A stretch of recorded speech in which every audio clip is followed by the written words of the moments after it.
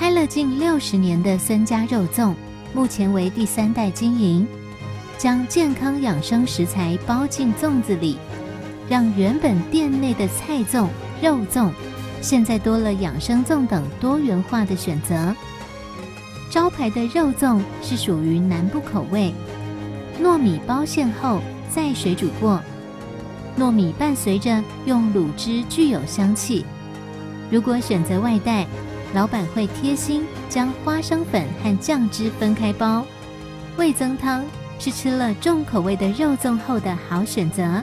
因为价格相当便宜，非常适合想品尝道地南部美食的人享用。